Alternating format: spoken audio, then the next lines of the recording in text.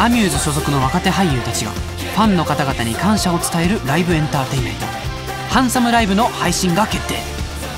これまで佐藤健賀来賢人神木隆之介吉沢亮など数々の若手俳優が参加。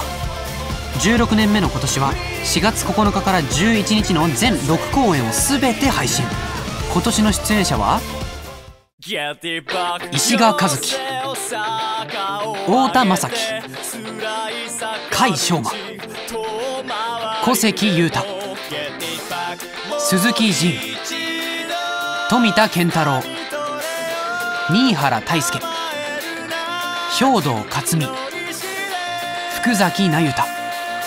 私藤原太夫。細田かなた。松岡広大。溝口拓也。そして渡辺圭介。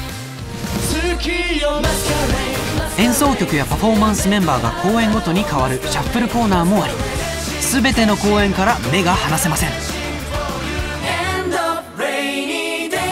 俳優ならではのライブを追求した谷類を見ない16年目のハンサムライブ。ぜひご覧ください。一緒に虹を見ましょう。